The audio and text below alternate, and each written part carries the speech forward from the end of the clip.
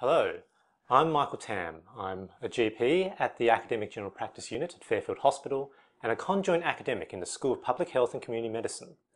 Welcome to this blended learning activity. There will be some online videos and readings that should take about 25 to 30 minutes to complete. This will be followed by an interactive live tutorial that will apply the learning material to clinical patient cases. This learning activity is titled Absolute Cardiovascular Disease Risk Assessment and Early Intervention and was adapted from an earlier lecture in the Phase 2 Society and Health term in the UNSW Medicine program. The aim of this activity is to show you how and why absolute cardiovascular disease risk assessment can be performed in clinical practice. To achieve this, we will integrate the various bits of knowledge that you may know and put it all together. We will revise cardiovascular disease risk, cover some basic statistical concepts in describing risk, consider the influences of socioeconomic and health system factors, think about the role and purpose of healthcare and the clinician, understanding on how and why these concepts influence clinical reasoning, and merging all that into making decisions for specific patients. The online video and readings will cover the more theoretical components of this activity. We will apply these concepts to real patient vignettes to demonstrate how appropriate intervention and management strategies are decided.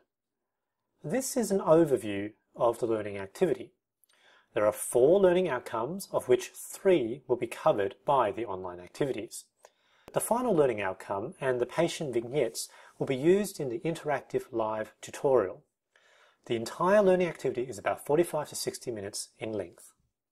The levels of expectations of your understanding and depth of knowledge are captured in these objectives and have ramifications to your phase 2 assessments.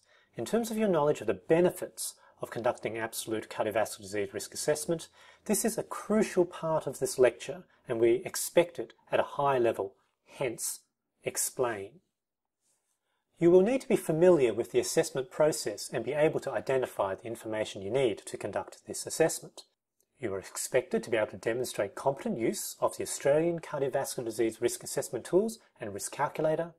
These were introduced in Phase 1 of the medicine program and we will be revising these in this activity.